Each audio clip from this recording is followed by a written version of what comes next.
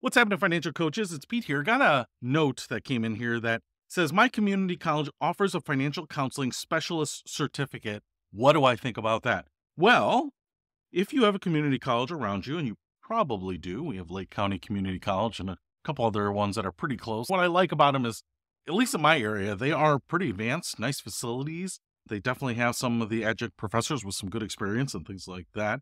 But if your community college offers something like this, I think it could be a great way to get started. Now, I don't know what the cost of this is. I also want to remind you that this is a certificate, not necessarily a degree of any sort. So, a lot of colleges offer certificates, anything from CFP to CPAs. I've seen those, but I haven't seen this locally here. So, I'd be curious to know how long it is and what the cost is of it. But I think this could be a really great way to get going, especially if it's going to be in person. Maybe most of the work is with other classmates who are interested in this. And so you could get the benefit of working together with some people, get that synergy and that energy together.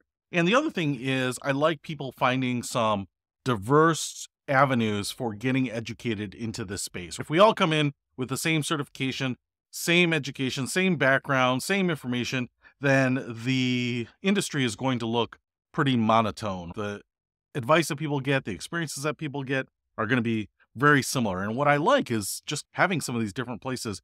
And so I would certainly recommend taking this, especially if it's cheaper than something like the AFC, where you're going to have to study on your own and then take the proctored exam.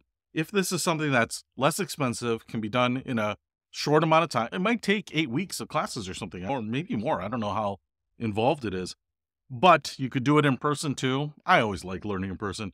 Man, it could just be a different way of doing it and could make a lot of sense. So if you are looking at something that's being offered locally through a community college, I would highly recommend it. I think that sounds great. So I know when I took one of my financial coaching classes at the University of Wisconsin Extension, I just love being with the same 30 people. It was like a three day in person thing. That was a lot of fun. So hopefully that is for you too.